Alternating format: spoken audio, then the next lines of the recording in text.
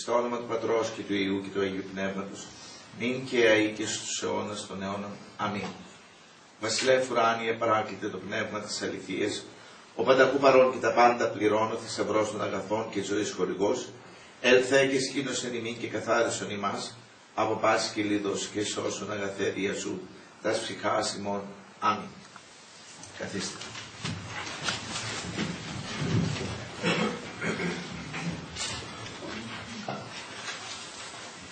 Με τη χάρη του Θεού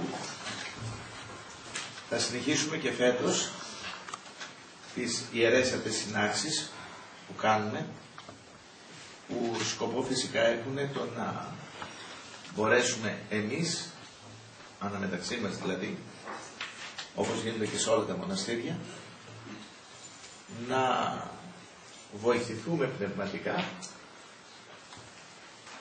και κάτι να παίρνουμε κάθε φορά ακούγοντας όλα αυτά τα οποία ακούμε και να ξέρετε από αυτά που ακούμε και στην τράπεζα, από αυτά που ακούμε και από το γέροντα, από αυτά που μπορεί να ακούσουμε από έναν ξένον άνθρωπο όταν έρθει στο μοναστήρι, πολλές φορές διδασκόμαστε. Δηλαδή και ο διδάσκων, εγώ λέω που σας διδάσκω, αλλά διδάσκουμε, αλλά και εκείνοι οι οποίοι ακούνε ή που τους ακούμε και έρχονται στη μονή. Πολλές φορές και είναι είτε μοναχοί, είτε μοναχές, είτε ότι μια γερόντες, ένας γέροντας, που μεταφέρει κάποιες εμπειρίες του προσωπικές, ξέρετε από αυτά ακόμα και λαϊκοί άνθρωποι, είναι αυτοί που μας διδάσκουν, μας προβληματίζουν. Έτσι μην ξεχνάτε την κυρία που σας έλεγα το καλοκαίρι, εδώ το έλεγα στους πατέρες, ότι μια κυρία γνωστή μας στην πάση περιπτώσει, κάθε βράδυ τρεις η ώρα σηκώνεται, κάνει τον όρθρο της, κάνει το μεσονυχτικό, μέχρι το πρωί. Κάθε βράδυ. Κάνει τις νηστείες και μάλιστα κάνει πολλές φορές αυστηρότατη νηστεία. Και είναι παντρεμένη, έχει παιδιά και ζει στο σπίτι, κάνει, θα έλεγα, μια καλοκαιρική ζωή, αυστηρή, χωρίς να είναι καλόγρια. Κάνει μια αυστηρή ζωή χωρίς να είναι καλόγρια. Και είδατε ότι από αυτή την αιτία της έπεσε η πίεση κάποια στιγμή για την τρομερή εξάντληση και την άσκηση που κάνει και η πίεση της πήγε στο 5. Και την πήγαν άρον στο νοσοκομείο. Από αυτό το πράγμα για μας είναι ένας έλεγχος. Γιατί όταν ένας λαϊκός φτάνει στο σημείο να κάνει μέσα στον κόσμο μια τέτοια ασκητική ζωή, μια τέτοια σκληρή ζωή, την οποία πολλές φορές εμείς στα μοναστήρια δεν τη βιώνουμε, βεβαίως και αποτελεί για μας ένας έλεγχος, ο τρόπος ζωής της. Και δεν είναι ο μοναδικός που μπορεί να ακούσεις. Και γι' αυτό λέω, αλλά είναι και από πολλούς άλλους ανθρώπους που ακούμε ή πώς αντιμετωπίζουν τους πειρασμούς τους, τα οικογενειακά τους προβλήματα, τις δυσκολίες, τις αρρώστιες ενός παιδιού τους, το πόσο υπομονή κάνουν, το πόσο προσευχή κάνουν για να αντιμετωπίσουν τα δικά τους προβλήματα. Και γι' αυτό πολλές φορές τους λέω ότι και το σπίτι τους, σου αναφέρω ότι είναι ένα μικρό μοναστήρι. Δηλαδή κάθε οικογένεια όταν θέλεις είναι ένα μικρό μοναστήρι. Και ηγούμενος μπορεί να είναι ο πατέρας ή η μάνα, εν πάση περιπτώσει. Ηγουμένη. Αυτός ο οποίος είναι πιο δυναμικός και κάνει κουμάτο μέσα στο σπίτι. Και το κάθε σπίτι βλέπετε έχει το πρόβλημά του, έχει να αντιμετωπίσει το κάθε παιδί που έχει διαφορετικό χαρακτήρα, πώς θα το φέρει στον ισοδρόμο, πώς θα βοηθηθεί, πώς θα προκόψει πνευματικά αρρώστιες που δημιουργούνται, όπως δημιουργούνται και στη μεγάλη οικογένεια που λέγεται μια ιερά μονή που έχει πολλά άτομα και αντιμετωπίζει πάλι τον έναν μοναχό, τον άλλο μοναχό, ή τη μία μοναχή με το χαρακτήρα της, την άλλη μοναχή με το χαρακτήρα της και ούτω καθεξής. Και πώς πρέπει να τα οικονομεί τα πράγματα ο γέροντας ή η γερόντης ανάλογα, πώς θα, πώς θα βγει πέρα αυτή η οικογένεια. Και βλέπετε κανείς ακούγοντας τα προβλήματά τους πάλι από αυτός. Πάλι διδασκόμεθα. Γιατί όταν βλέπεις ότι ο άλλος σου λέει πάτε να αντιμετωπίζω το τάδε τεράστιο πρόβλημα και κάνω το σταυρό μου και λέω αφού αυτό ήταν το θέλημα του Θεού τι να κάνω. Είδατε ένα παράδειγμα τώρα αυτή την περίοδο, αντιμετωπίζει ο βατοπεδινός, ο ηγούμενος, αντιμετωπίζει ένα τεράστιο πρόβλημα σε μοναστήρι. Και είναι το ευχάριστο το ότι όλη η αδελφότητα, από ό,τι έχω πληροφορηθεί, και οι 105 μοναχοί πως είναι μέσα, 110, είναι συσπηρωμένοι γύρω από τον ηγούμενο. Ούτε ένας δεν διαμαρτυρήθηκε, ούτε ένας δεν γκρίνιαξε, που μέσα σε τόσα άτομα μπορεί κάποιος να πεταχόταν και να του έλεγε «Βρε μήπως κάνατε κάποιο λάθος κίνηση». Κανείς δεν αμφισβήτησε την παραμικρή κίνηση του γέροντα.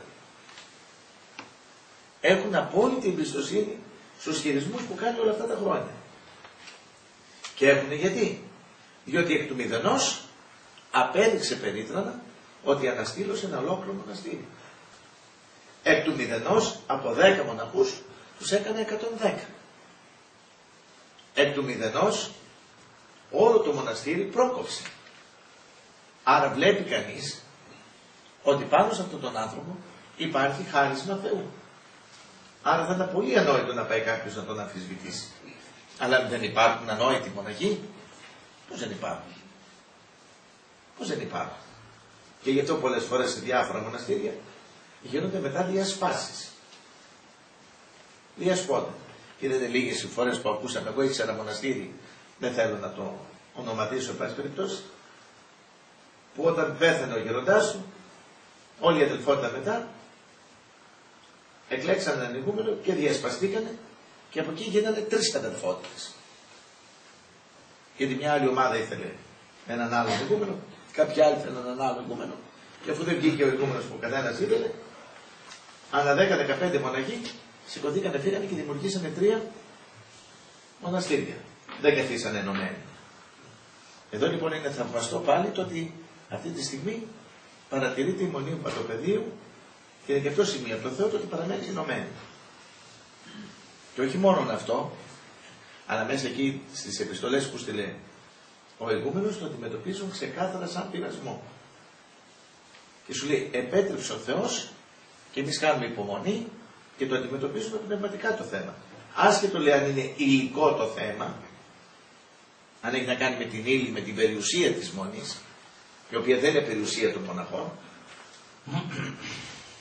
είναι μια περιουσία της μονής που έχει να κάνει, εν το θέμα, επειδή πήρε τέτοιες διαστάσεις, ξέφυγε κάποιων ορίων, αφού το πιάσαν τα τηλεοπτικά κανάλια και οι δημοσιογράφοι, και το αντιμετωπίζουμε το θέμα πνευματικά.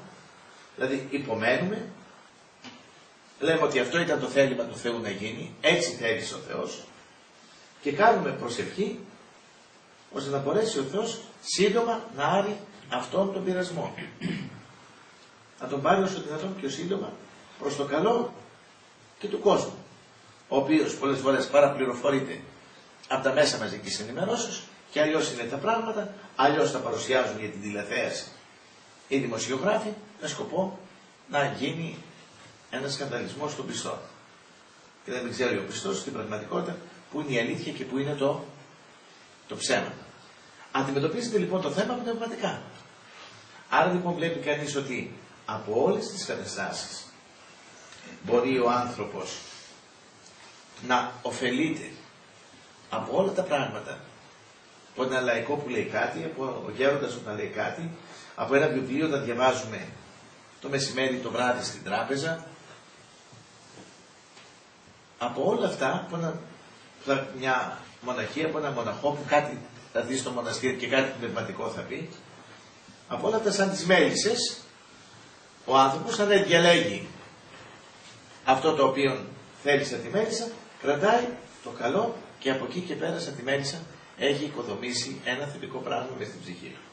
Αυτό λοιπόν το πράγμα βοηθάει και οι συντάξεις που κάνουμε. Διότι αφενός μεν ακούμε την εμπειρία του γέροντος, μας λέει προσωπικές του εμπειρίες, δηλαδή βιώματα, τα οποία μέσα από αυτά τα βιώματα πάλι διδάσκεστε κι εσείς. Και διδάσκεται και ο ίδιος. Γιατί βλέπει πολλές φορές ότι το χέρι του Θεού κρύβεται πίσω πολλές φορές από πολλές ενέργειες του ανθρώπου. Και ο ίδιος διδάσκεται, γιατί βλέπει πως η χάρη του Θεού ενεργεί, πως ενεργεί επάνω μας, πως ο Θεός μας σκεπάζει, πώς ο Θεός βοηθεί, πώς ο Θεός μας βοήθησε και από πράγματα τα οποία μελετώ και εγώ και διαβάζω από άλλα βιβλία με εμπειρίες αλλωνών γεροντάδων, αλλωνών πατέρων, σας μεταφέρω σαν μέλισσα και εγώ επιλέγω και σας λέω αυτά που πρέπει προς ωφέλεια των ψυχών μας. Έτσι, δι' αυτού του τρόπου, σιγά σιγά να υπάρχει μια πνευματική πρόοδος μες στις ψυχές μας. Γιατί το λένε όλοι οι Άγιοι και γι' αυτό λένε και οι πατέρες και ο Χρυσόστομος. Να διαβάζετε κάθε μέρα Αγία Γραφή. Να διαβάζετε κάθε μέρα πνευματικά βιβλία. Γιατί το λέει αυτό το πράγμα; Διότι ξέρει την ωφέλεια που προκύπτει. Προκύπτει ωφέλεια. Εκεί στο διακόνημα που κάθεται τώρα ο πατήρ Ευγένιος, σε αυτό το διακόνημα που έχει αναλάβει τώρα, έχει χρόνο και διαβάζει. Πέρα από το τι μπορεί να διαβάσει το κελί του. Και επειδή έχει πολύ χρόνο εκεί και διαβάζει, άμα το ρωτήσετε, θα δείτε θα σας πει πόσα ωφέλιμα πράγματα έχει μάθει από τότε που άλλαξε το διακόνημα. Και από πού τα άμαθε. Την ανάγνωση. Και το βλέπω που κάθε τρεις και πέντε μου λέει Γέροντα, διάβασα αυτό το ωραίο εκεί. Γέροντα, διάβασα αυτό το ωραίο εκεί. Γέροντα, διάβασα αυτό το ωραίο εκεί. Όλο κάτι βρίσκει.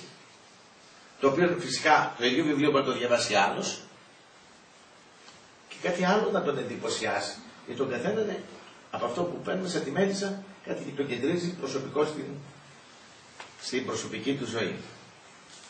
Επομένως, έχει μεγάλη σημασία το να ακούμε, να συζητάμε, να μιλάμε πνευματικά και να ωφελούμεθα. Αυτό λοιπόν το σκοπό έχουν οι συνάξεις, την πνευματική πρόοδο. Και είδατε κάτω που είχα πάει τώρα και στην Καλαμάτα και στο κάθισμα το σερβικό, εκεί οι πατέρες τι κάνουν, τέσσερι πατέρες που είναι, δεν κάνουν κάποιο διακόνημα στη μονή, ελάχιστα πράγματα μικρό το μοναστηράκι τους, ένα κάθισμα μικρό, έτσι. Δεν έχουν διακονήματα, ελάχιστα, διακονήματα υπάρχουν. Οπότε όταν τους ρώτησα πατέρες πώς ακριβώς βιώνετε, το πρόγραμμά τους πραγματικά μου θύμισε το πρόγραμμα του Ιωσήφ του Ισυχαστή. Οι οποίοι δεν είχαν διακονήματα, ελάχιστα διακονήματα, αλλά μέσα στην ησυχία τους όμως, τι κάνανε; Προσευχή και μελέτη. Όλη την ημέρα. Προσεύχονται, μελετάνε. Και ξεκουράζονται φυσικά κάποια στιγμή. Και τα πολύ μικρά διακονήματα τα οποία κάνουν. Φυσικά έχουν κάποια οικονομική άνεση που μπορούν και από εκεί συντηρούνται. Οπότε δεν είναι, έχουν τόσο μεγάλη ανάγκη να κάνουν κάποιο διακόνημα για να επιβιώσουν, ως προς την επιβίωση. Εδώ είναι οι ουσιώδες αυτό που κάνανε οι αυτοκράτορες. Ότι στα μοναστήρια με χρυσόβουλα οι αυτοκράτορες δίνανε μια αλφα περιουσία αφού τους βοηθάγανε και τους δίνανε στους μοναχούς χρυσάβι. Χρυσό τους δίνανε. Όπως τον Άγιο Χριστόδουλο που είσαι στην Πάτμο, το μοναστήρι. Του έδωσε ο αυτοκράτορας χρυσάφι πολύ. Και του έδωσε και σαν περιουσία μεγάλα κομμάτια. Όλο το νησί του έδωσε. Της Σφάτου. Μην κοιτάτε που σήμερα το νησί το έδωσε μετά ο... και το μοίρασε ο Άγιος Χριστόδουλος και μετέπειτα οι ηγούμενοι. Αλλά όλο το νησί ο αυτοκράτορας το παραχώρησε στη Μονή. Ώστε από εκεί να μπορεί η Μονή από τα κτήματα αυτά που θα είχε να επιβιώνει ως προς τι, ώστε οι μοναχοί να μην ασχολούνται με τα οικονομικά και να μπορούν από τα έσοδα αυτά των κτημάτων, από τα κέρδη που θα φέρνει το κτήμα, ή τα δέντρα, οι καρποί, τι είχαν, το λάδι τους, οτιδήποτε καρπούς είχαν τα παλιά κτήματα, από αυτό οι μοναχοί να είναι αμέριμνοι, ώστε τα κάνουν τι. Αυτό που είναι. Να βιώνουν προσευχή, και μελέτη. Αυτό λοιπόν ακριβώς το πράγμα μπορεί και το κάνει σήμερα στο πούμε κάτω εκεί οι πατέρες στη Μεσσηνία όπως σας είπα. Και το ζήτημα είναι ότι εκείνο που θα πρέπει εμείς να προσέξουμε είναι ο ίδιος ο εαυτός μας. Λέει μία παροιμία. Γίνεται κακός σύμβουλος του εαυτού του όποιος δεν συμβουλεύεται και δεν ακούει τον άλλον. Σε πολλά πράγματα πρέπει να το προσέχουμε αυτό το πράγμα, το γεγονός, ότι μόνοι μας θαύουμε τον εαυτό μας. Έρχεται ο πειρασμός δηλαδή. Μας βάζει μια σκέψη. Μπορεί να είναι καλή η σκέψη. Αλλά δεν μπορώ να ξέρω εγώ που θέλει ο δαίμονας να την πάει. Εάν τη σκέψη αυτή δεν τη συζητήσω, δεν μιλήσω με άλλους ανθρώπους, δεν συμβουλευτώ, δεν ακούσω μια άλλη άποψη, υπάρχει περίπτωση να γίνει, να γίνω κακός σύμβουλος του εαυτού μου. Και από ένα τρομερό πράγμα να καταστραφώ μετά. Να γιατί λένε οι Άγιοι Πατέρες ότι όταν εξομολογούμεθα κιόλας πρέπει να τα αναφέρουμε όλα αυτά που σκεπτόμαστε. Τα πάντα. Τα πάντα πρέπει να τα σκεφτόμαστε. Ο μάλλον ό,τι σκεφτόμαστε και είναι εφάμαρτον εννοείται, έτσι, ή ακόμα και φαντασία εάν είναι, πρέπει να το εξομολογούμε. Δηλαδή μην περνάμε τα πνευματικά θέματα. Δηλαδή είχα πονηρές σκέψεις. Ή το βράδυ είδε ένα όνειρο, όπως σας έλεγα και στους πατέρες, εδώ, είδα ένα όνειρο και έπαθα ονείροξη ή οτιδήποτε άλλο στον ύπνο μου. Θα πρέπει να ψαχτώ. Θα πρέπει να αναζητήσω και δεν αναφέρω απλώς γέροντα έπαθα ονείροξη. γιατί, διότι θα πρέπει να ψάξει ο γέροντας να βρει από πού προήλθε. Και ο μοναχός πρέπει να ψάξει να βρει από πού προήλθε αυτό το πράγμα. Να δει δηλαδή ήταν από κάτι που συζήτησε, έκανε μια κουβέντα ή άκουσα μια κουβέντα και αυτή η κουβέντα με πείραξε και την εκμεταλλεύτηκε ο δαίμονας στον ύπνο μου. Γιατί ξέρετε ο δαίμονας ότι δεν μπορεί να σε πιέσει το ξύπνιο και δεν μπορείς να σε πιέσει τον ύπνο να αμαρτήσεις. Οπότε στον ύπνο σου δημιουργεί ένα όνειρο και σου δημιουργεί φαντασιώσεις. Με αποτέλεσμα ο άνθρωπος να αμαρτήσει στον ύπνο του. Αυτό που αγωνίζεται όλη την ημέρα να είναι εγκρατής, να το διαπράξει κατά φαντασία στον ύπνο του, με όνειρο. Έτσι λοιπόν, αναζητάει ο γέροντας. Και φυσικά η εξομολόγηση δεν είναι ανάκριση. Από μόνος του πρέπει να πει, ξέρεις γέροντα, αυτό το πράγμα το είδε γιατί είχα κατέβει στην πόλη είδα το τάδε πράγμα, σκανδαλίστηκα, εκείνη τη στιγμή είπα μπα, δεν θα με ενοχλήσει. Και μετά από δύο-τρεις μέρες, τέσσερις μέρες, από στον ύπνο μου δημιουργήθηκε αυτό το όνειρο. Ή έπιασε τα μου αυτή την κουβέντα και από τη συζήτηση αυτή δημιουργήθηκε το βράδυ αυτό το όνειρο. Ή διάβασα αυτό το πράγμα, αυτό το άρθρο σε μια εφημερίδα, σε ένα περιοδικό και εκεί που δεν το περίμενα, από αυτό το πράγμα δημιουργήθηκε στον ύπνο μου αυτό το όνειρο. Οπότε δι' αυτού του πράγματος τι κάνουμε; Ανοίγουμε όπως πάμε σε έναν γιατρό και του δίνουμε ακριβώς που είναι οι πληγές μας. Άμα δεν του πεις του γιατρού όπως και όταν έχω και ένα ψυχικό τραύμα. Άμα πάω στον ψυχίατρο. Άμα στον ψυχίατρο δεν του εκθέσω πλήρως την όλη μου κατάσταση να του ανοίξω τα χαρτιά μου. Δεν μπορεί ο γιατρός να βγάλει ο ψυχίατρος συμπέρασμα. Όπως αν, πάω, αν πάω σε ένα γιατρό που έχει ένα πρόβλημα εσωτερικό υγείας. Τι πρέπει, επειδή δεν ξέρω και εγώ πώς είναι μέσα, είδατε έχουν βγει μηχανήματα τώρα; Που σκανάρουν όλο τον οργανισμό. Από σκάνερ το περνάνε. Μαγνητική τομογραφία, αξονική τομογραφία, τα πάντα. Οπότε τι κάνει από εκεί ο γιατρός. Μέσω της ακτινογραφίας βλέπει ακριβώς πώς είσαι. Εάν εσύ πας και του πεις, όχι, ότι εκεί τρέπομαι, σας παρακαλώ, μην κοιτάξετε εκεί, μην κάνετε εκείνο. Πάει ο άνθρωπος αυτός.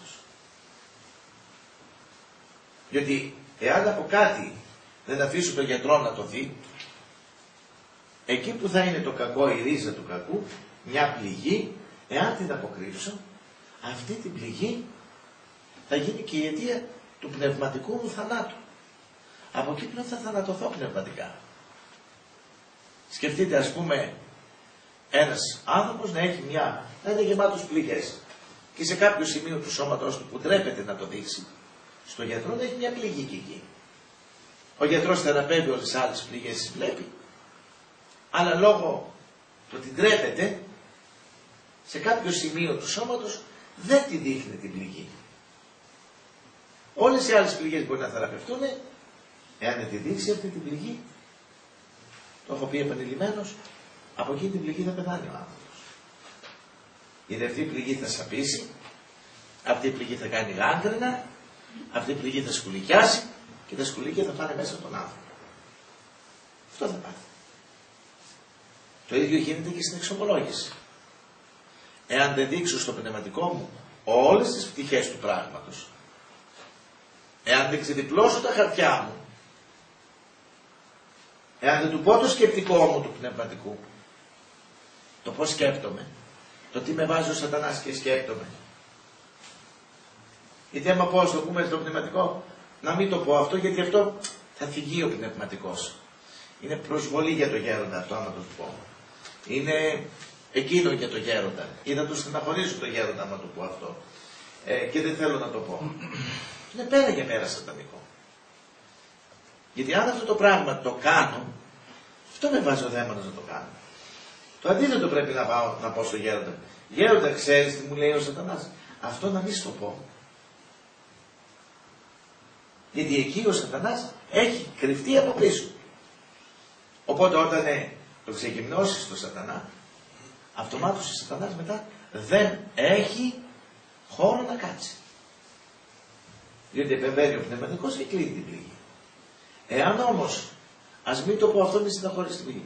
Αυτή τη λεπτομέρεια δεν είναι ανάγκη να τη μάθει ο πνευματικός. Δηλαδή έκανα πονηρές σκέψεις. Ή είχα άσχημες σκέψεις είχα, είπα κακές κουβέντες. Έρχονται πολλοί νέε μου, είπα κακές κουβέντες. Στην κακή κουβέντα από τι είναι, είναι από το βλάκα μέχρι το να βλασφημίσω τα θεία. Και τι κακές κουβέντες. Είναι και η κατάρα μέσα. Είναι και το ένα μέσα. Είναι και το άλλο μέσα. Μέχρι ποιο σημείο έφτασε. Και ποια η αιτία που της είπα. Πώς έφτασε σε αυτό το σημείο να πω. Εάν δεν εκδιπλώσω ακριβώς. Όλο μου το σκεπτικό στο πνευματικό δεν του δείξω πως είναι. Τότε κινδυνεύω. Όπως είναι ακριβώς η αρτηρίες της καρδιάς. Η αρτηρίες της καρδιάς περνάει το αίμα μέσα. Εάν εγώ την αρτηρία δεν καθαρίσω καλά δεν μπορεί να περάσει το ρεύμα το, το αίμα. Το αίμα δεν περνάει μέσα θα βουλώσει, θα βουλώσει, θα κλείσει και θα πάω από έμφραγμα κάποια στιγμή. Το ίδιο εδώ πέρα θα δημιουργηθεί πνευματικό έμφραγμα όμως. Όταν πρόκειται για την ψυχή μας. Άρα λοιπόν πρέπει και στην εξομολόγηση όταν κάνουμε στο πνευματικό να πάμε στο γέροντα να πούμε απογυμνωνόμαστε. Όπως γυμνωνόμαστε μπροστά σε έναν γιατρό. Δεν τρεπόμαστε. Ούτε ο πνευματικός το έχετε δει εξάλλου. Χρόνια εξομολογήστε. Δεν κόβει κεφάλι ο πνευματικός, ούτε μαλώνει ο πνευματικός. Ο γέροντάς μας αντιθέτως την πνευματική μας πρόοδο θέλει. Γι' αυτό τον οποίο λόγο ήρθαμε και στη Μονή. Και ποιο λόγο ήρθαμε στη Μονή; Για να φορέσουμε ένα ράσο να μας φυλάει ο άλλος το χέρι. Γι' αυτό το λόγο ήρθαμε στο μοναστήρι. Γιατί γίναμε μοναχοί. Δεν γίναμε, βάλαμε στόχο να φτάσουμε τις κορυφές της αγιότητος, να καθαριστούμε, να γίνουμε φως. Γι' αυτό το λόγο δεν έχουμε έρθει στο μοναστήρι. Για ποιο λόγο μπήκα μέσα σε ένα μοναστήρι; Τι ήρθα να κάνω μέσα στο μοναστήρι; Μπήκα λοιπόν με αυτό το ζήλο. Και όπως λέει και ο γέροντας Παΐσιος πρέπει να προσέχουμε. Διότι ο ζήλος ξεκινάει όταν μπαίνω μέσα, τον δίνει ο Θεός. Και έτσι τον δίνει ο Θεός, όπως δίνει και στους ερωτευμένους. Βλέπει μια κοπέλα ο νεαρός και ξαφνικά την ερωτεύεται τρελά. Μετά αυτό όμως, από τα πέντε χρόνια, ο έρωτας αρχίζει και φεύγει. Πέφτει και γίνεται μια τετριμένη οικογένεια. Εκεί όταν γίνεται τετριμένη οικογένεια πρέπει πλέον και ο άντρας και η γυναίκα να μπορέσουν να κρατήσουν την οικογένειά τους. Να αγωνιστούν, να παραμείνουν αγαπημένοι. Να αγωνιστούν να κάνουν τον αγώνα που τους καλεί το μυστήριο του γάμου. Και να φτάσουν μέχρι τέλους. Και γι' αυτό είδατε στην κουρά λέει, καλό έργο λέει επιθυμείς. Τι προσήλθες όδε αδελφέ. Σε ρωτάει γιατί ήρθες εδώ αδελφέ; Σε ρωτάει ξεκάθαρα εκεί που γίνεται κουρά. Ποθών το βίον της ασκήσεως. Ποθώ να γίνω Άγιος. Ποθώ να φτάσω στα ύψη. Ποθώ να φτάσω στις κορυφές. Ποθώ να γίνω φως. Ποθώ να ενωθώ με το Θεό. Και μας έχει δώσει αυτή τη φλόγα ο Θεός μέσα μας. Είδατε όταν πετάμε στο τζάκερο που έχουμε τα ξύλα, είδατε πως ανάβει φλόγα.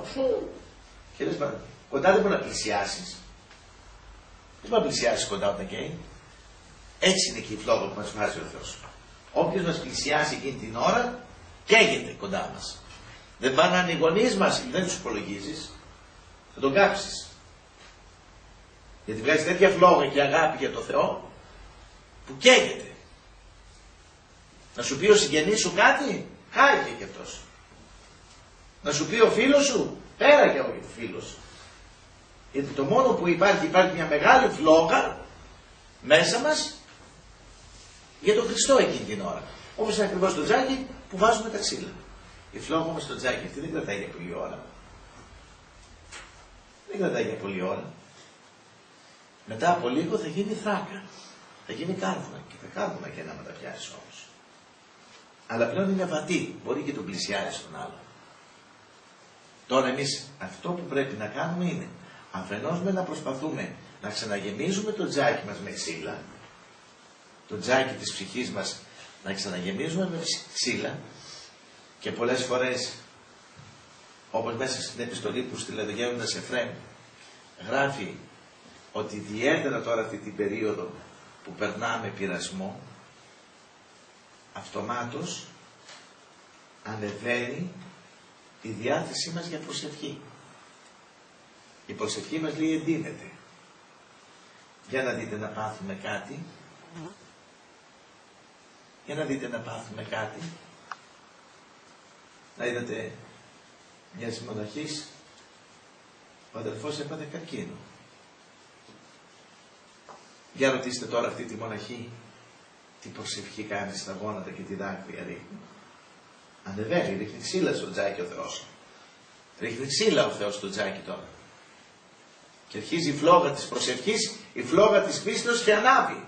Ανεβαίνει. Δεν είναι ανάγκη να περιμένουμε ο Θεός να μας δίνει τέτοια πράγματα. Δεν είναι ανάγκη ο Θεός να μας δώσει κάποια αρρώστια σε κάποιο συγγενικό μας πρόσωπο, σε κάποιο φιλικό μας πρόσωπο για να καταλάβω ότι ο Θεός μου χτυπάει την πόρτα. Δεν είναι ανάγκη. Να πάρω να ρίξω ξύλα και μόνος μου. Στο τζάκι της ψυχής μου να ρίχνω συχνά ξύλα. Και σε αυτό βοηθάνε αυτές οι συνάξεις. Βοηθάει η μελέτη βοηθάει η προσευχή μας. Να είναι ο μόνος μου ξύλα. Αλλά και όταν είναι το κάρβουνο πάλι να μην τα αφήσω να γίνει στάχτη. Γιατί και το κάρβουνο είναι ωφέλιμο και καίει. Και σηκοκρατάει την, τη φωτιά. Και μάλιστα μπορεί κανείς πάνω στο κάρβουνο και ψήνει. Πλέον. Για τον ίδιο τρόπο λοιπόν είναι η ψυχή μας. Έρχεται λοιπόν ώρα που ε, υπάρχει μέσα μια φλόγα στην ψυχή Υπάρχει και ώρα που η φλόγα έχει καταλαγιάσει, έχει καθίσει όμως και υπάρχει ένα αναμένο κάρβουνο. Το ίδιο είναι η διακύμαση της ψυχής μας. Άλλοτε θα είναι η ψυχή μας στα ύψη και θα έχει τεράστια φλόγα, άλλοτε η ψυχή μας θα είναι χαμηλά η φλόγα. Και γι' αυτό λέει ο Απόστολος Παύλος, έκαστος δοκιμαζέτο την εαυτού πίστη. Δηλαδή η πίστη, η θέρμαση, ζέσης πίστος πλήρης Πνεύματος Αγίου.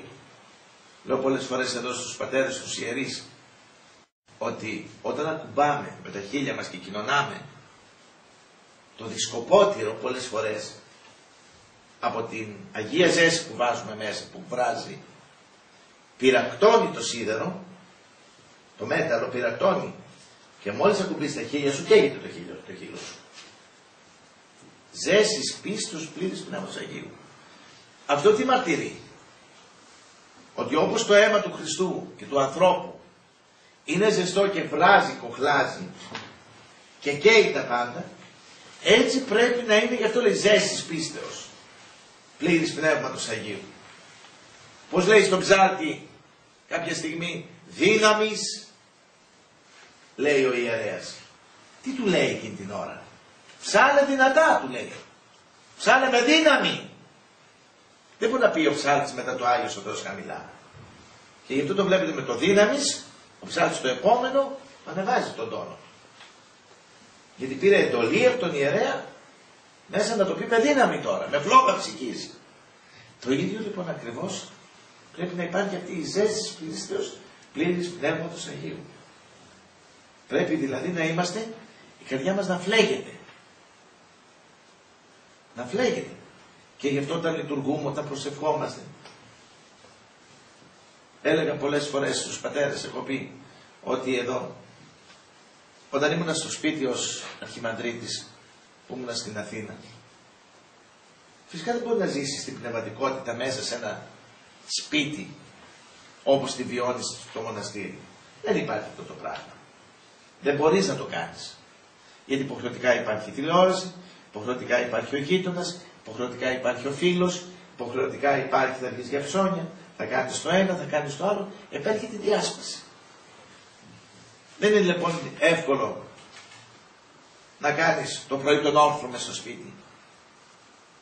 Δεν είναι εύκολο να κάνεις κομποσκίνη μέσα στο δωμάτιό σου. Δεν είναι εύκολο να διαβάσεις αρκετή ώρα ένα πνευματικό βιβλίο. Ούτε είναι δυνατόν να βλέπεις το βράδυ τηλεόραση και μετά να λες τώρα πάω να κάνω ξαφνικά το απόδειχνό μου. Δεν μπορεί να γίνει αυτό το πράγμα.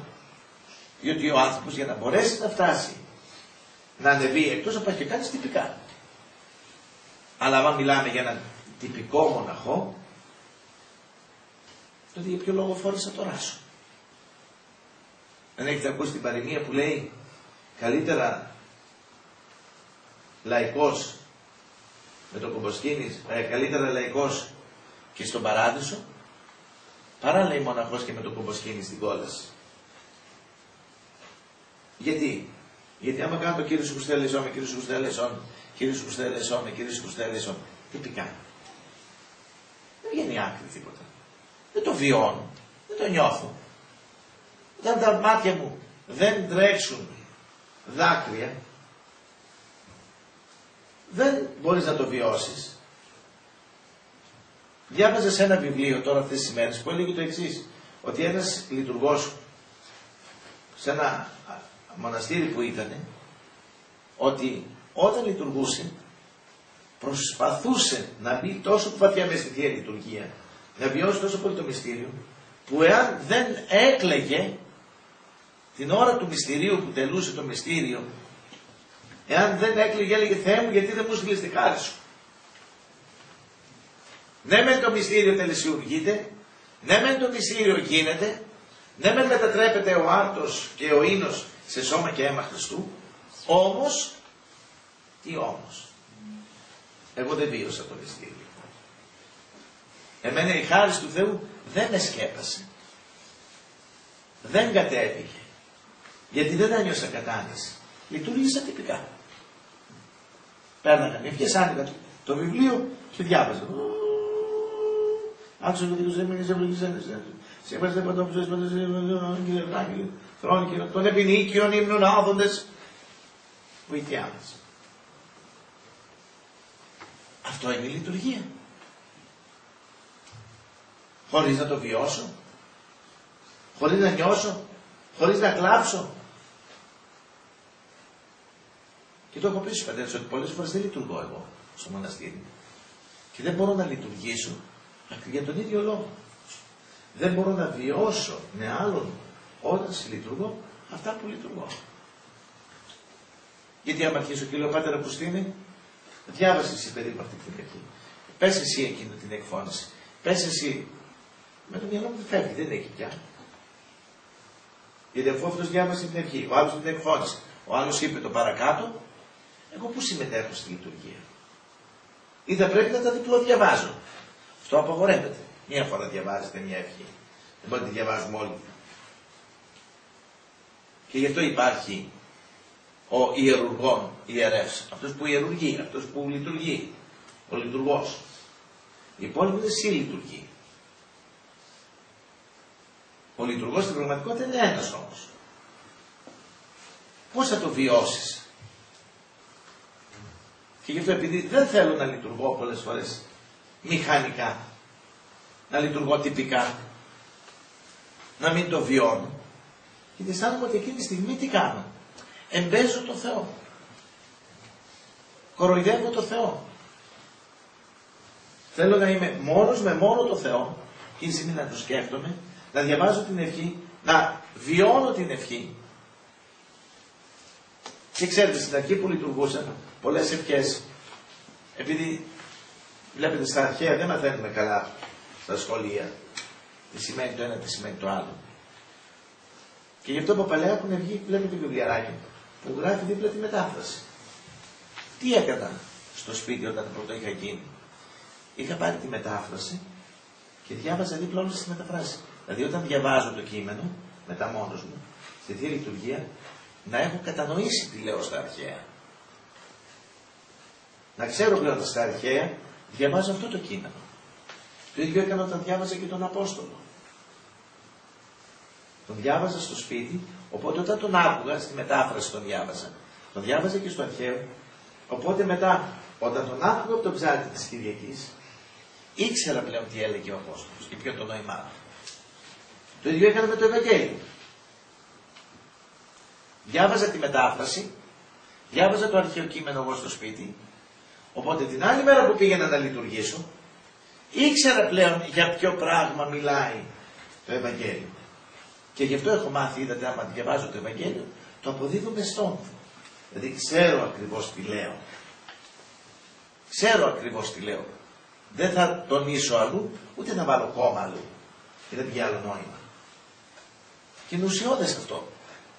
Διότι άμα εγώ που λειτουργώ δεν μπαίνω μέσα στο νόημα, πώς θα το βιώσω το πράγμα; Πώς θα το βιώσω το πράγμα; Και γι' αυτό λοιπόν όταν ήμουν στην Αθήνα, τι έκανα πολλές φορές. Όταν ήταν να πάω να κάνω το απόδειπνό μου, την προσευχή μου τη βραδινή, κλεινόμουν στο δωμάτιο, έπαιρνα το λιβάνι, λιβάνιζα και βάζα πολύ λιβάνι. Και μου αρέσει και όταν λειτουργώ να έχω πολύ λιβάνι. Να υπάρχει έτσι νεφέλη, ολόκληρη. Να μην βλέπονται έτσι αποπνικτική κατάσταση. Να είναι. Έβαζα, αν η φωνή μου ήταν βραχνιασμένη και το κασετοφωνάκι, που έλεγε καταπληκτικά τροπάρια. Είτε τη ζωή εντάφω, τη Μεγάλη Εβδομάδα, τον υφώνα σου βλέπω, το τι υπερμάχω από νεκρόσιμες ακολουθίες. Γιατί, ώστε να προσπαθώ να τι να κάνω, να κατανοίγομαι. Να υπέρχεται μία κατάνοιξη. Να υπέρχεται μία κατάνοιξη. Και μετά αρχίζεις και κάνεις την προσευχή σου. Δηλαδή πρέπει να φτιαχτείς πνευματικά. Δεν μπορεί να πας από την τηλεόραση να πεις κάνω τώρα το απόδεικτο. Το ίδιο δεν μπορώ να πάω από το διακόνημα. Ξαφνικά πάω και κάνω θεία λειτουργία. Γι' αυτό η λειτουργία είναι και το πρωί.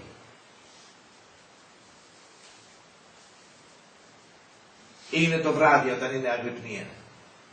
Να μην είναι, να σε έχει, ακριβώς και αυτό το λόγο έχει, και ο όρθρος. Όλος ο όρθρος ή αυτά που διαβάζουμε πιο πριν, μεσονυκτικά, ώρες και οτιδήποτε, μια σκοπιμότητα έχει. Να μπορέσει σιγά σιγά μετά στη λειτουργία να σε καταλήξει. Να σε φέρει σε κατάνοιξη. Αυτό το λόγο έχει.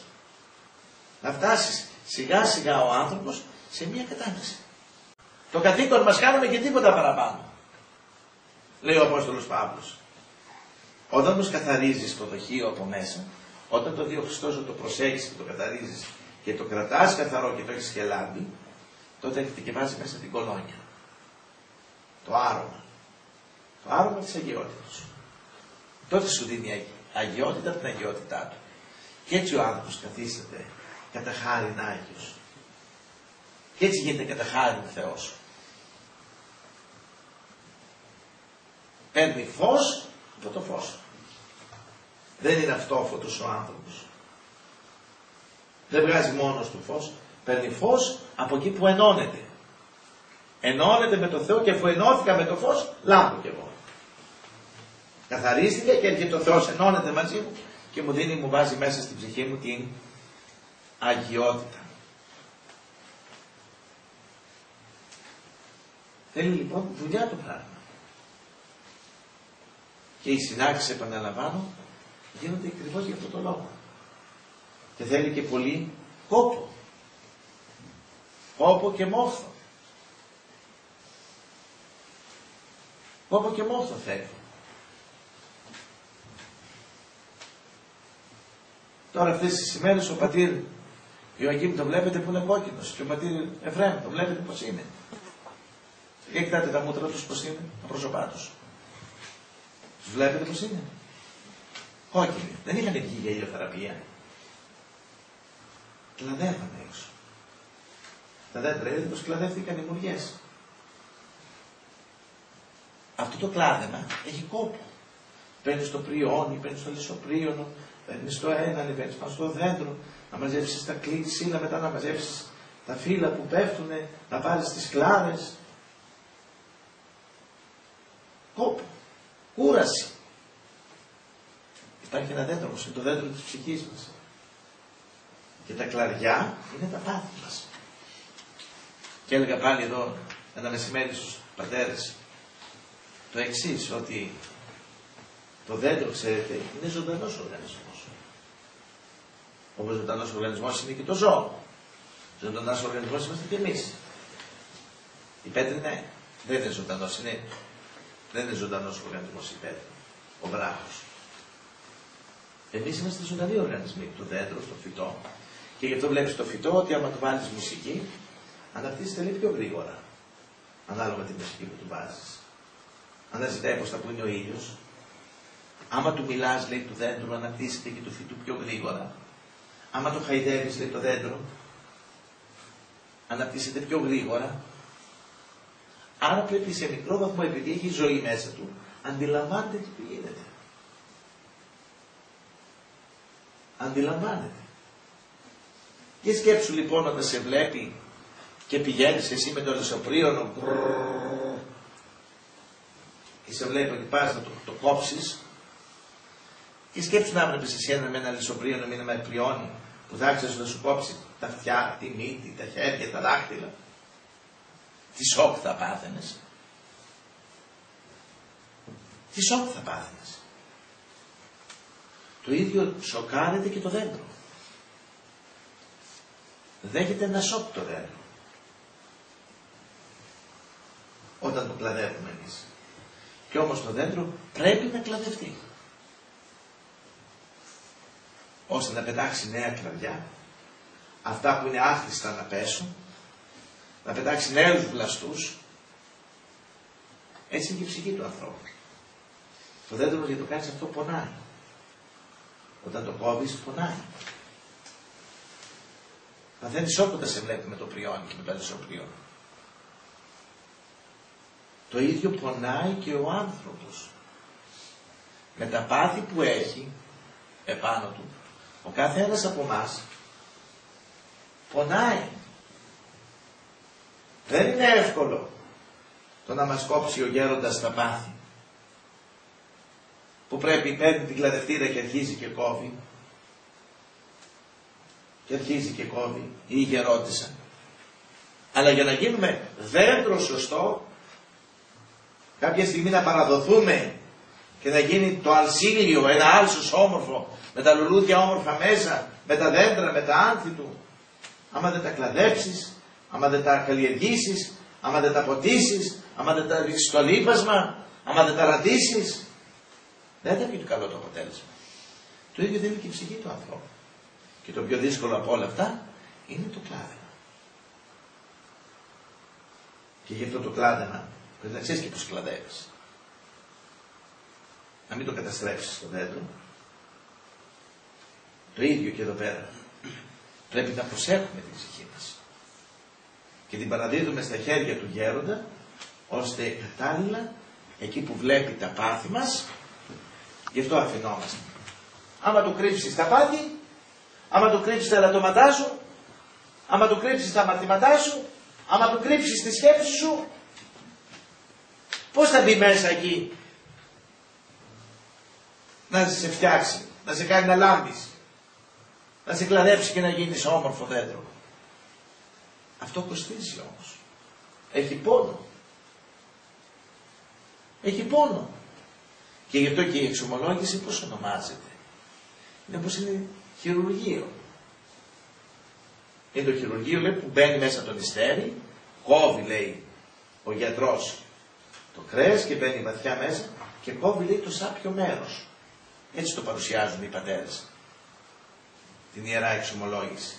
Μπαίνει λέει σαν γιατρός μέσα ο πνευματικός και κόβει λέει το σάπιο μέρος.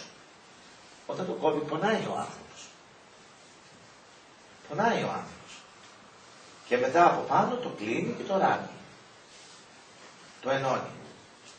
Αυτό πώς κλείνει; Με τα μετηθεία κοινωνία. Γι' αυτό λέγεται φάρμακο. Η θεία κοινωνία γι' αυτό είναι φάρμακο. Είναι το φάρμακο που μπαίνει επάνω και κλείνει. Και μου έλεγε προχθές είχε έρθει ένας πατέρας εδώ και κάναμε μια πνευματική έτσι κουβέντα και μου λέει το εξής. Λέει, διάβαζα μου λέει κάπου ότι οι κολλασμένοι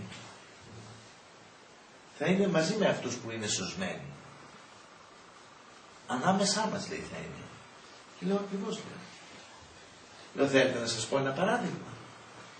Θα είναι όπως είμαστε στη θάλασσα. Στη θάλασσα λέω, μπαίνουμε μέσα και κολυμπάμε. Όλοι μαζί. Στο ίδιο νερό κολυμπάμε. Στο έλεος και στην αγάπη του Θεού. Η θάλασσα είναι το έλεος, σκεφτείτε, και η αγάπη του Θεού. Ο ένας που είναι υγιής μπαίνει μέσα στο νερό και κολυμπάει μια χαρά. Δροσίζεται, χαίρεται και απολαμβάνει τη δροσιά του νερού το καλοκαίρι. Ο άλλος ο οποίος έχει πληγές και είναι κομμένο το κορμί του, ξέρετε τι θα πάθει αν και πέσει στο νερό. Το αλάτι επειδή είναι αλμυρό το νερό, μόλις ακουμπήσει επάνω στις πληγές του, τσουρουβλίστηκε. Αρχίζει και τσούσε να βάλει σαλάτι πάνω στην πληγή. Και με το που θα μπει ο ίδιος άνθρωπος με κομμένα ανοιχτές τις πληγές, τσουρουφλίστηκε. Στο ίδιο έλεος του Θεού. Η ίδια αγάπη του Θεού θα είναι. Μέσα στην αγκαλιά του θα είναι. Μονάχα που άλλοι από αυτή την αγκαλιά θα δροσίζονται και άλλοι αυτή την ενέργεια του Θεού θα την αισθάνονται πάνω τους καυστικοί και δεν υποφέρουν. Όχι γιατί θέλει ο Θεός να υποφέρουν. Διότι αυτοί άφησαν τις πληγές τους ανοιχτές. Αυτοί άφησαν τις πληγές τους και δεν τις γιάτρεψαν. Δεν τις καθάρισαν. Δεν έκοψαν το σάπιο. Δεν έβαλαν από πάνω το Χριστό να καλύψει. Και φέτηκε. Και έτσι με στην ίδια αγκάλη. Και η κόλαση δεν είναι αλλού και αλλού είναι ο παράδεισος, είναι η ίδια η αγκαλιά του Θεού. Όπου ομένει ένας από το Θεό. Και γι' αυτό άμα δείτε και οι αγιογράφοι αυτό το αποδίδουν. Άμα δείτε ο πύρινος ποταμός που βγαίνει από τα πόδια του Χριστού, είναι μια ακτίνα του φωτός του στην ουσία. Που βγάζει το φως, σαν ήλιος, που λάμπει. Μονάχα που αυτή η ενέργεια, για αυτούς οι οποίοι έχουν ανοιχτές πληγές, γίνεται καυστική ενέργεια. Ενώ για τους άλλους απολαμβάνουν τον ήλιο. Και γι' αυτό άμα δείτε, ο πύρινος ποταμός είναι στη μέση. Δεξιά και αριστερά, στην αγιογραφία δείτε το, υπάρχει ο παράδεισος. Ο πύρινος ποταμός είναι στη μέση. Που σημαίνει ότι οι κολλασμένοι είναι ανάμεσα στους σωσμένους. Είναι ανάμεσά τους. Μόνο που εκείνοι τσουρουφλίζονται.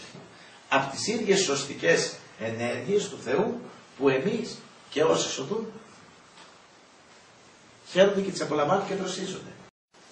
Και εκείνη την ώρα αυτό βοηθάει και το κουμποσκίνη.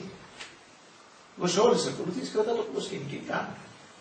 Ακούω το τι λέει και αρχίζω και σκέφτομαι τα μαρτήματά μου και λέω κύριε Χριστέ ελέησόν Κύριε Χριστέ ελέησόν Κύριε Χριστέ ελέησόν Κύριε Χριστέ ελέησόν Όχι γρήγορα από μέσα. Αργά. Για να συνειδητοποιώ τι λέω. Βλέπω μερικούς και κάνουν το κουμποσκίνη και τρέχει γρήγορα το κουμποσκίνη. Άμα το δεις και τρέχει γρήγορα το κουμποσκίνη, αυτό δεν προσέρχεται.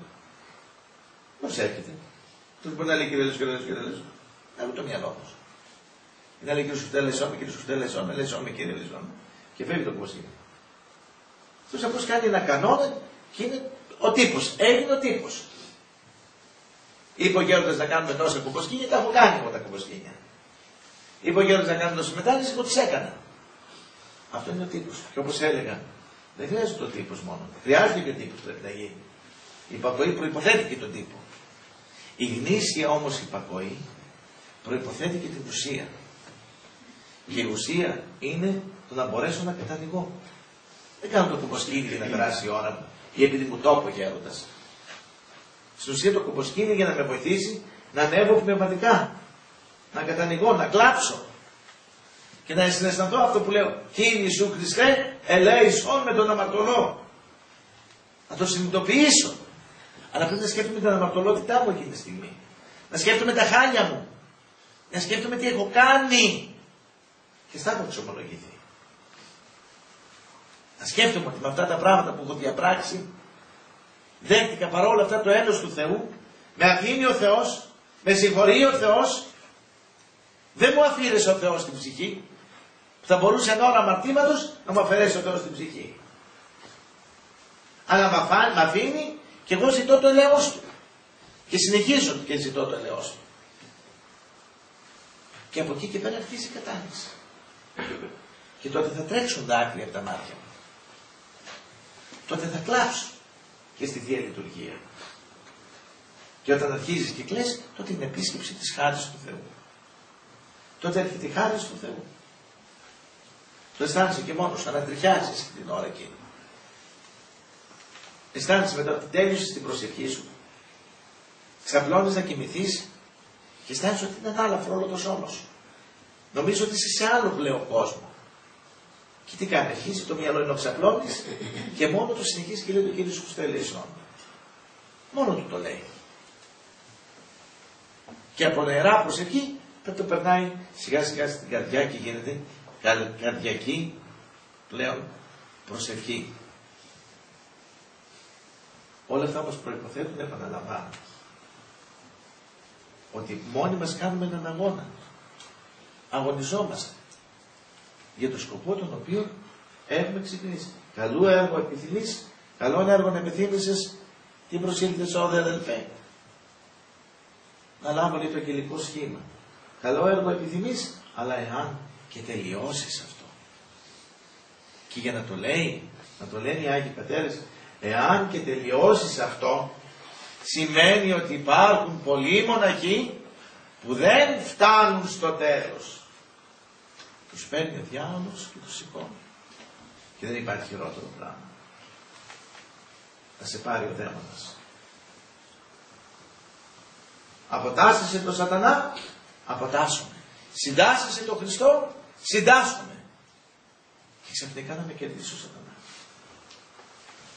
Και σε αυτή τη ζωή θα έχουμε τα τύψεις συνειδήσεως συνεχόμενες ότι πρόδωσα, εγκατέλειψα τον Χριστό. Έγινα αρνητής του Χριστού. Και γιατί έγινα. Γιατί δεν έκανα αυτά που μου έλεγε ο γέροντας. Διότι όταν κάνουμε αυτά, αν δεν γίνεται καθαρή εξομολόγηση, τα πάντα τα ξεδιπλώνουμε. Δεν λέω αυτό μη το πω, εκείνο μη το πω, εκείνο μη το πω. Και όχι μόνο σαν αμάρτημα, όπως πολλές φορές, εκείνο που χρειάζεται και στην υπακοή πάλι, Λέω, να θα φύγει ο γέροντας τώρα. Και εγώ ήθελα κάτι να κάνω. Ή θα φύγει η γερόντισσα. Ποια θα αφήσει πίσω η γερόντισσα ως στα χρέη ηγουμένης. Θα πάω μετά από αυτή και θα πάρω την πληγή και θα την πάρω. Ή θα φύγει ο γέροντας, θα μείνει ο πατήρ Αυγουστίνος στη θέση του, θα πάω μετά και θα το πω και θα το κάνω. Ή πηγαίνω με προδιάθεση, όταν λέω κάτι στο γέροντα, να μου το κάνει ο γέροντας. Πηγαίνω με προδιάθεση να μου κάνει αυτό ο γέροντας. Αλλά αυτό δεν είναι υπακοή. Αυτό πάω προκατηλημένα να το του πάρω το γέροντα. Και δεν άμα βλέπω ότι μπορεί, δεν μπορεί να το πάρει, δεν σου λέει όταν φύγει ο γέροντας, θα πάρω και θα το κάνω, θα το πω στον αντικαταστάτη του. Τι θα κάνω.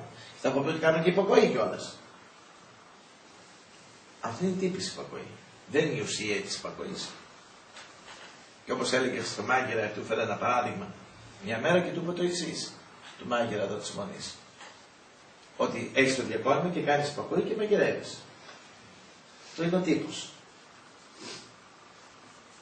Τι λέει, κάνει υπακοή και υπακούει στο πρόσωπο του γέροντα όπως υπακούει στο πρόσωπο του Χριστού.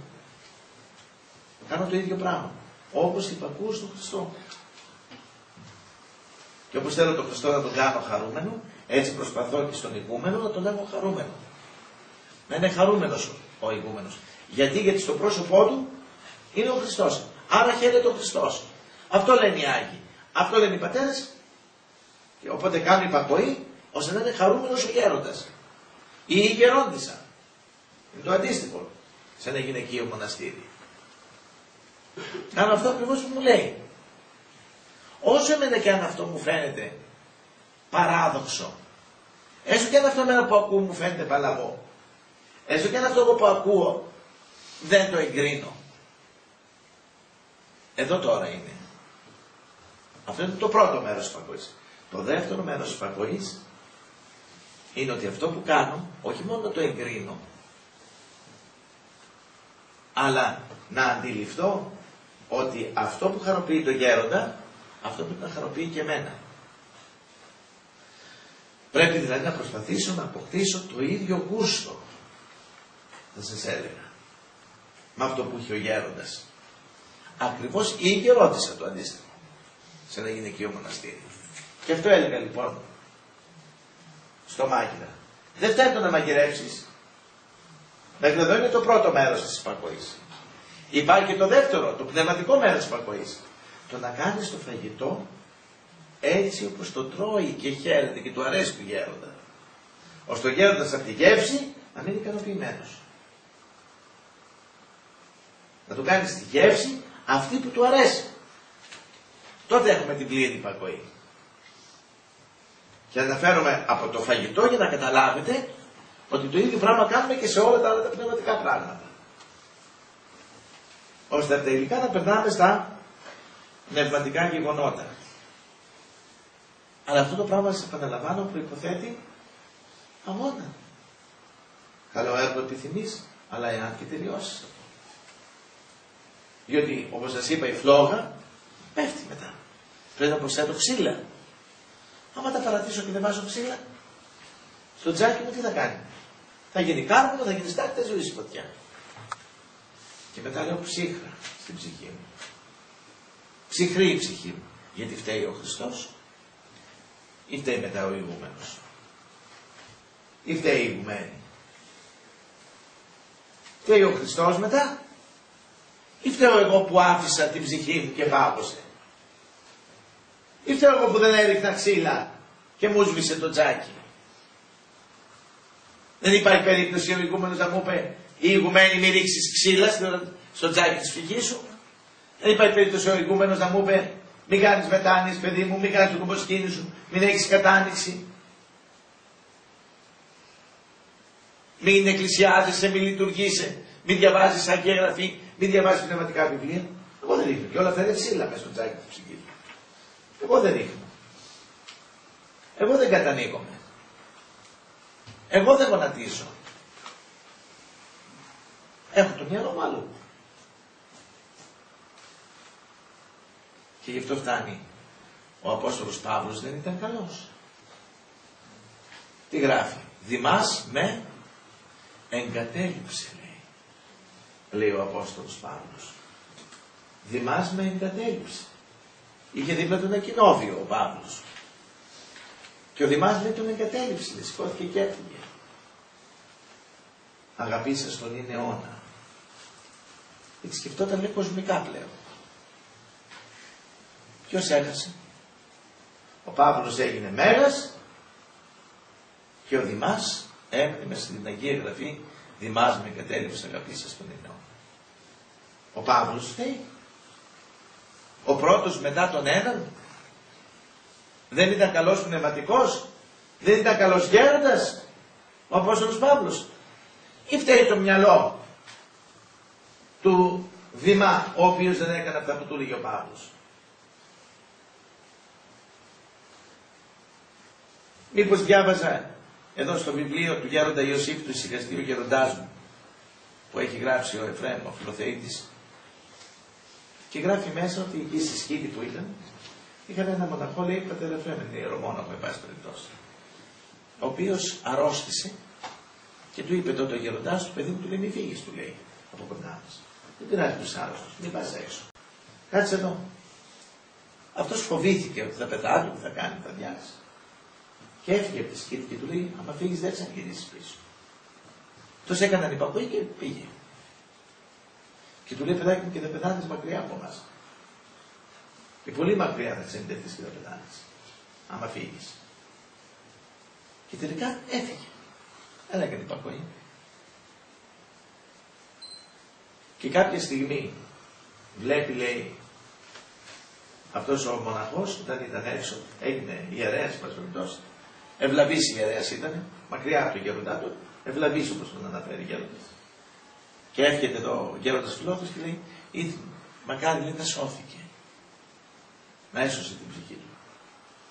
Γιατί λέει, είδε μια φορά λέει ένα όνειρο, ότι ήταν λέει σε ένα μέρος αυτός κάπου αλλού και απέναντι έβλεπε τον γεροντά. Και του λέει γεροντά μου φώναξε με του λέει να έρθω κοντά σου. Και το απαντάει ο γέροντας Ιωσήφ ο εισηγαστής και του λέει παιδί μου δεν μπορείς να έρθεις κοντά μου λέω. Διότι αν υπακοήσουν αυτοί που σε χώρισαν από μένα. Δεν μπορεί να έρθεις εδώ που είμαι εγώ. Βλέπετε λοιπόν ποιος έφυγε; Ο γέροντας Ιωσήφ ο εισηγαστής, ο οποίος όπως αναφέρουν ήταν και σκληρός κιόλας. Φώναζε, ήταν λίγο άγριος ο γέροντας Ιωσήφ, ο εισηγαστής. Αφού αναφέρει κάποια στιγμή ότι εκνευρίστηκε τόσο πολύ ένας μοναχός με αυτά που του έλεγε, ώστε βούτυξε το πιάτο το φαγητό και του το έφερε στη μούρη. Τον χτύπησε με το φαγητό το γέροντα Ιωσήφ. Του πέταξε το πιάτο, λέει στο πρόσωπο. Φαίνεται κάποια λογομαχία θα έχει γίνει. Λοιπόν, φταίει ο γέροντας Ιωσήφ, ο συγχαστής, το ότι ο μοναχός βρέθηκε εκεί κοντά στον Αγιότερο να κάτσεις. Εάν εσύ δεν έχεις σκοπό και δεν θέλεις να αγωνιστείς, δεν αγωνίζεσαι. Εάν παρατήσεις τον αγώνα, κακό το κεφάλι σου κάνεις. Και σκεφτείτε τώρα ένας άνθρωπος που είναι μέσα στην πόλη. Ένας ιερομόναχος που έχει φύγει έξω από τη μονή, τι αγώνα μπορεί να κάνει έξω; Τι αγώνα; Εδώ εμείς που είμαστε και μέσα σε μοναστήρια και πηγαίνουμε μπουσουλώντας. Μπουσουλώντας πηγαίνουμε. Πώς είναι δυνατόν έξω να βιώνει κάποιος και να προχωρεί και να προοδεύει πνευματικά; Πρέπει να είναι η προσοχή του και η προσευχή του στο έπακρο συνέχεια. Στο έπακρο πρέπει να είναι. Πρέπει να είναι στο έπακρο.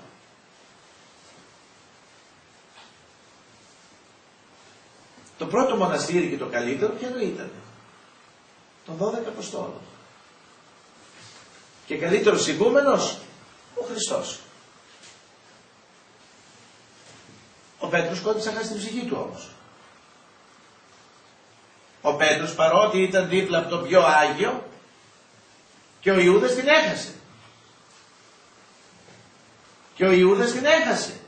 Και κόντεψε να τη χάσει και ο Πέτρος. γιατί δεν πρόσεξε. Και ο Πέτρος κόντεψε να τη χάσει.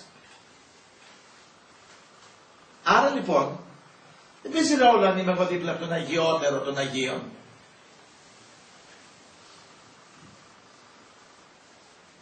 Γιατί εξαρτάται από τη διάθεση τη δική μου. Γι' αυτό έλεγαν οι παλαιοί, το κάθε κατσικάκι λέει, κρέμεται από το δικό του ποδαράκι. Γι' αυτό γιατί σε μία αδελφότητα τα ίδια διδάσκει ο γέροντας. Και τον πατέρα Αυγουστίνο και τον πατέρα Νεκτάριο και τον πατέρα Δαβίδ και τον πατέρα Λεόντε και ούτω καθεξής. Γιατί ο ένας μοναχός προοδεύει και ανεβαίνει πνευματικά στην ίδια αδελφότητα και ο άλλος πέφτει έως άδω. Γιατί; Διότι ο ένας κάνει υπακοή και προοδεύει και αγωνίζεται, καθαρίζει μέσα συνέχεια την ψυχή του. Δηλαδή αυτά που λέμε το κάνει. Έρχεται στην εξομολόγηση και τον βλέπεις ανοίγει την ψυχή του. Διάπλατα. Κάθε και σου λέει εκείνο, εκείνο, εκείνο, εκείνο, εκείνο, εκείνο, εκείνο. Και βλέπεις έρχεται το άλλος μοναχός. Διάβατα αυτό και αυτό έχω διαβάσει μια ευχή να φύγω. Δεν σου ανοίγει την ψυχή του. Ποιος λάθη τον εαυτό του; Ο γέροντας, ο γέροντας ήταν Ιησούς. ίδια λέει στου δύο. Άρα, από εμάς πώς διαχειριζόμαστε; Πας και πλένεις το πιάτο. Βλέπεις ο ένας το πλένει το πιάτο, παίρνει το σφουγγάρι, το πλένει με σαπουνάδα καλά. Ο άλλος ανοίγει απλώς λίγο την βρουσούλα του, το ρίχνει λίγο νεράκι πάνω και το. Και βλέπεις μετά λαδίζει το πιάτο. Ένας δεν το έπαιρνε καλά, γιατί το λαδίζει. Ο άλλος που το έβαλε στο καυτό νερό, σορουφλίστηκε, πήρε το σαπούνι, πήρε το σφουγγάρι, το ότριψε δεξιά και αριστερά και καθαρίστηκε και μετά το, το πέταξε μέσα σε καθαρό νερό, πλήθηκε το πιάτο. Ο άλλος που απλώς το πήρε και το έβαλε έτσι από κάτω από το νεράκι, δεν καθαρίστηκε το πιάτο.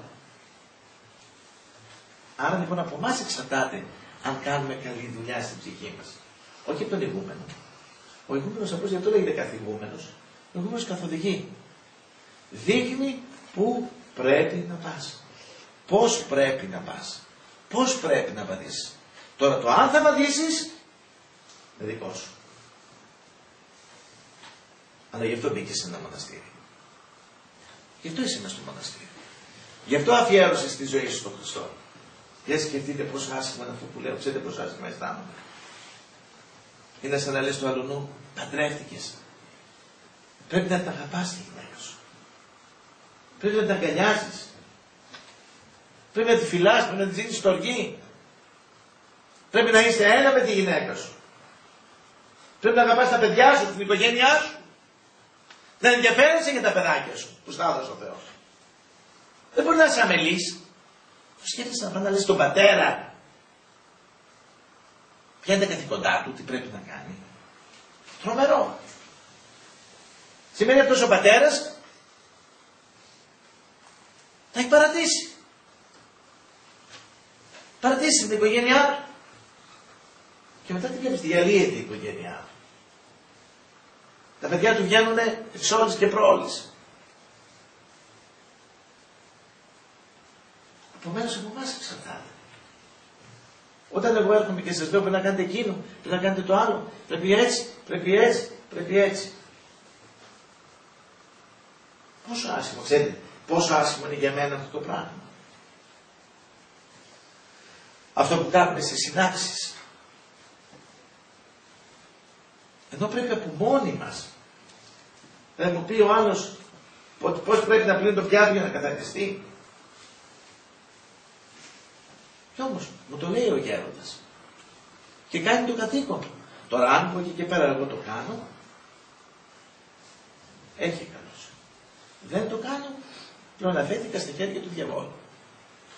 Και γι' αυτό βλέπετε την, την κλίμακα του Ιωάννου του Σιναήτη, ανεβαίνουν πάνω μοναχοί και μπαίνουν κάποιοι μοναχοί μέσα και τους στεφανώνει ο Χριστός. Ακολουθώντας τον δρόμο των καλών τετήρικα, την πίστη τετήρικα, από εκεί τέμει, ο της δικαιοσύνης, το δρόμο τετέλεκα, την πίστη τετήρικα, από εκεί τέμει, ο της δικαιοσύνης Στέφανος. Και έρχεται ο Χριστός με το στεφάνι και σε στεφανώνει. Έρχεται ο Χριστός και σου βάζει τον αμάλο του στεφάνι δόξης. Και ο Χριστός δίνει την αγιότητα στον άνθρωπο. Σαν επιβράβευση αυτού του πράγματος. Όσο εσύ καθαρίζεις το δοχείο, η αγιότητα δεν καταρχέται από τον άνθρωπο, ξέρετε. Δεν την κερδίζουμε εμείς την αγιότητα. Εμείς καθαρίζουμε από μέσα το δοχείο. Καθαρίζουμε. Και όταν ο Χριστός δει ότι λάμπει, επειδή η αγιότητα είναι του Θεού, δεν είναι δική μας. Η αγιότητα είναι του Θεού. Είσαι Άγιος. Δεν υπάρχει άλλος Άγιος. Και από αυτό που έχει ο Θεός, αυτό και μας δίνει. Και αφού δει ότι εμείς το δοχείο μας είναι καθαρό, δεν γινόμαστε μόνοι μας Άγιοι από τον αγώνα μας. Όχι. Ο αγώνας δεν μπορεί να κάνει Άγιο. Και αν όλα τα πάντα κάνεις, λέει ο Απόστολος Παύλος, αχρή δούλειες με. Και δείτε το αυτό το ερμηνεύει πολύ ωραία, το έχει και η γεωγραφία το δείχνει. Αυτό το πράγμα. Άρα λοιπόν εξαρτάται από εμάς η σωτηρία μας. Από εμάς κατά πόσο θα κλαδέψουμε τα δέντρα μας. Και αυτό έχει κούραση. Το πιο δύσκολο πράγμα είναι ο χαρακτήρας του ανθρώπου. Δεν είναι εύκολο να διορθώσεις το χαρακτήρα του ανθρώπου. Και πόσες φορές δεν έχουμε πει ότι εδώ πέρα είναι φροντιστήριο είναι. Ένα φροντιστήριο. Γιατί αν έξω είναι δύσκολα να σωθείς, έτσι, πας σε ένα φροντιστήριο που σου δίνει πώς να σωθείς. Και εγώ θυμάμαι που πήγαινα μαθηματικά φροντιστήρια, παρότι ήμουν καλός μαθητής, ιδιαίτερα στα μαθηματικά, ε, τότε πήγαινα και φροντιστήριο. Θυμάμαι λοιπόν ότι όταν ήμουν στο σχολείο και πήγαινα φροντιστήριο, υπήρχαν μαθητέ μέσα στο φροντιστήριο που κοιμώνωσαν. Ή εκεί, ε, πλήρωνε ο γονιός και αυτοί κάνανε, ζωγραφίσανε στα τετράδια τους. Και έλεγε: Κοίτα, πληρώνει ο πατέρας και αυτό. Έρχεται εδώ μέσα και κάθεται έτσι. Το ίδιο είναι και ο μοναχός ο οποίος φόρεσε τον άσο και ζωγραφίζει. Έτσι. Δεν προσέχει με στη μονή. Και γι' αυτό λέει, καλό έργο επιθυμείς, εάν και τελειώσει. Και γι' αυτό το σωτήριο ποιο είναι. Το σωτήριο γι' αυτό οι πατέρες έχουν την υπακοή. Πλήρη υπακοή στο γέροντα. Πλήρη υπακοή στη γερόντιση. Κάνω αυτό που μου λέει. Και όχι μόνο τυπική υπακοή. Κάνω ουσιαστική υπακοή. Όπως σας είπα και με το μαγείρεμα. Να λοιπόν οι συνάξεις στο πόσο μας ωφελούν. Αυτό το σκοπό έχουν. Να μας υπενθυμίζουν. Και γι' αυτό λένε όλοι οι Άγιοι Πατέρες. Το διάβασες στο Ευαγγέλιο, το ξαναδιαβάσεις. Το τέλειωσες πάλι την αρχή. Για να σου υπενθυμίσει να σου υπενθυμίσει συνέχεια. Ποιος είναι ο σκοπός σου; Γιατί. Γιατί έχουμε τον αντίδικο. Έχουμε τον αντικείμενο. Το διάβολο. Ο οποίος τι κάνει; Αυτός δεν θέλει τη σωτηρία μας. Αυτός δεν θέλει τη σωτηρία μας. Και κάθε μέρα τι κάνει; Προσπαθεί να μας κάνει αμελής. Κάθε μέρα εδώ τώρα μπορεί να λέμε από αύριο αγωνίζομαι, αλλάζω. Τέρμα. Δεν είμαι καλός μοναχός μέχρι σήμερα, από αύριο αγωνίζομαι. Και έρχεται το δύο, αλλά λέει ο δαίμονας. Εσύ παίρνεις αποφάσεις να δεις εγώ τι θα κάνω. Και οπλίζεται και έρχεται αύριο. Τσούκ με το ένα, τσούκ με το άλλο, τσούκ με το άλλο. Να σου ρίξει νερό μέσα στο τζάκι σου. Να σου σβήσει τη φλόγα που πάει να ξανανάψεις. Είναι σαν τον κακό μαθητή που μόλις ο δάσκαλος γράφει στον πίνακα, πάει, μόλις φύγει λίγο ο δάσκαλος, πάει ο κακός μαθητής, παίρνει το σουγκάρι και τα σβήνει. Ό,τι έγραψε ο δάσκαλος. Αυτό κάνει ο διάβολος. Πάει στην ψυχή μας και σου λέει καλά τα απογέοντας, αλλά τώρα εγώ που να διορθωθώ, διορθώνομαι μόνο. Αυτό είναι σατανική σκέψη. Δεν είναι του ανθρώπου αυτή η σκέψη. Βεβαίως και διορθώνεται ο άνθρωπος. Σώθηκε μια Μαρία Οσία, η Αιγυπτία. Προχθές ήταν πια Πόρνης εορτής. Ταϊσία. Η Παϊσία. Η Αγία Ταϊσία. Η πόρνη. Που σώθηκε. Ο Ιερός και Άγιος Αυγουστίνος. Και πλήθος άλλους. Τελώνε. Και πόρνε προάγους ημάς στη βασιλεία των ουρανών. Εγώ θα απογοητευτώ. Θα αφήσω τον διάβολο να με απογοητεύσει και να μου πει εσύ δεν διορθώνεσαι; Θα πέσω θύμα εγώ στα δίκτυα του διαβόλου να με πεις ότι δεν διορθώνομαι; Όχι, σκαλί σκαλί θα ανέβω. Μπορεί να μην μπορώ να τρέξω γρήγορα να ανέβω, αλλά σκαλί σκαλί θα ανέβω διάβολα. Θα ανέβω σκαλί σκαλί, γι' αυτό είμαι εδώ μέσα. Γι' αυτό μπήκα. Μπήκα με ένα σκοπό. Καλό έργο επιθυμείς, εάν και τελειώσει αυτό. Θα το τελειώσω. Και θα φτάσω μέχρι τέλος. Αυτό δεν έκανε ο διάβολος και στο Μεγαντόνιο. Και του λέει, του λέει ο Μέγας Αντώνιος, δεν σε νίκησα διάβολε ακόμα εγώ. Δεν σε νίκησα. Και μόλις πέθανε ο, ο Μέγας Αντώνιος και έφερε η ψυχή του, τότε συνάντησε λέει το δαίμονα. Και γυρίζει τότε ο Μέγας Αντώνιος και λέει στο δαίμονα, ε τώρα σε νίκησα διάβολε. Τώρα τελειώσαμε του λέει. Τώρα σε έχω νικήσει. Άρα σε όλη μας τη ζωή τι δείχνει. Σκαλή, σκαλή, σκαλή, σκαλή, ανεβαίνουμε. Δεν αφήνουμε την απογοήτευση. Δεν αφήνουμε το δαίμονα της απελπισίας να μας πιάσει. Τι είναι η δουλειά του δαίμονα; Να μας πιάσει με την απελπισία, να μας πιάσει με το ένα, να μας πιάσει με το άλλο, να μας καταστρέψει ο δαίμονας. Ε, αυτά τα μαθήματα, αυτές οι συνάψεις, αυτό το λόγο έχουν. Και αυτό το λόγο έχουν και τα κηρύγματα που κάνουν το ιερατείο έξω του στον κόσμο. Γιατί κάνει ο ιερέας κήρυγμα; Γιατί κάνει μελέτη γραφής; Για ποιο λόγο ο ιερέας έξω κάνει απογευματινές ομιλίες και απογευματινά κηρύγματα; Γιατί κυκλοφορούν ομιλίες με κηρύγματα, ομιλίες σε βιβλία; Ακριβώς για να μας υπενθυμίσουν. Να μας τονώνουν το πνεύμα και την ψυχή. Εμείς δόξα τω Θεώ έχουμε τις δικές μας συνάρτησεις. Έχουμε στην τράπεζα την ανάγνωση. Έχουμε την βραδινή ανάγνωση. Έχουμε την ακολουθία μας. Έχουμε το κουμποσκίνη μας. Είμαστε σε ένα συνεχόμενο αγώνα. Σκαλί σκαλί. Θα ανέβουμε. Εύχομαι λοιπόν και οι φετινές συνάξεις να μπορέσουν να μας βοηθήσουν προς αυτό το σκοπό. Σκοπός μας η κορυφή. Ξεκινάμε από το τελευταίο σκαλάκι θα λέμε κάθε φορά. Κάθε φορά από το τελευταίο σκαλάκι για να ανέβουμε μέχρι την κορυφή. Όπως ξεκινάει ο μαθητής. Θα πάρει βαθμούς στο πρώτο τρίμηνο, θα πάρει στο δεύτερο τρίμηνο, θα πάρει στο τρίτο τρίμηνο. Εξετάσεις στο τέλος για να διαπέρασε. Πότε έχουμε τις εξετάσεις; Στην Ανάσταση. Εκεί που λέμε Χριστός Ανέστη. Εάν και εγώ τελικά αναστήθηκα. Στο τέλος κάνουμε εντατικό φροντιστήριο Πού είναι το εντατικό φροντιστήριο, μεγάλη πια γίνεται Σαρακοστή, πρώτου Πάσχα. Για να κάνουμε το διάβαση, να κάνουμε το Πάσχα. Να περάσουμε την τάξη. Ξεκινάμε τώρα για να φτάσουμε το Πάσχα, να περάσουμε το πέρασμα. Πάσχα να κάνουμε. Να δεχτούμε την να έχουμε Ανάσταση και καλή Ανάσταση. Και αν κοπούμε κάπου, σαν ξεκινάμε πάλι από την αρχή. Και δεν απελπιζόμαστε. Δεν απελπίζεται και δεν βαριέται ο διάβολος να ασχολείται μαζί μας. Και αιώνες τώρα, ε.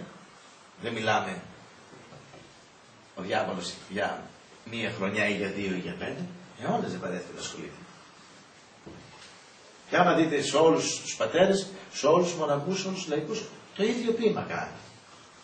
Διαβάζοντας βίους Αγίων ή διαβάζοντας πατερικά βιβλία, θα δείτε την ίδια τεχνική χρησιμοποιεί. Την ίδια τέχνη. Και έχει αποκτήσει τεράστια πείρα. Ξέρει δηλαδή πώ μπορεί να του πάρει τον έναν, ξέρει πώ μπορεί να του πάρει τον άλλον. Και γι' αυτό λέγεται και πειρασμός. Γιατί έχει θεόρατη πείρα. Αλλά έχουμε και εμείς όμως τη χάρη του Θεού. Μας οπλίσει. Και είμαστε κάτω από την ομπρέλα του. Και ας εκείνο να έχει πείρα. Εμείς αγωνιζόμαστε μέσα από τη χάρη του Θεού. Δεν βαριέται λοιπόν εκείνος.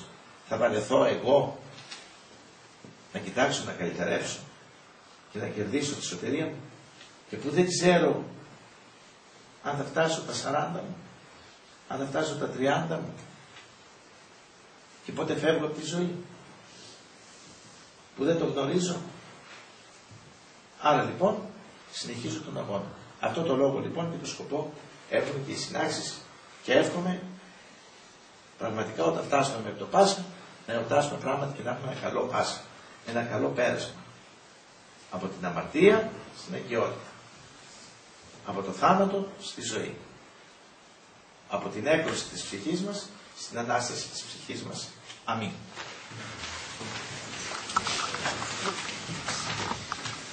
Διευχών των Αγίων Πατέρων ημών, Κύριε Ιησού Χριστέ ο Θεός, λέησον και σώσον ημάς. Αμήν.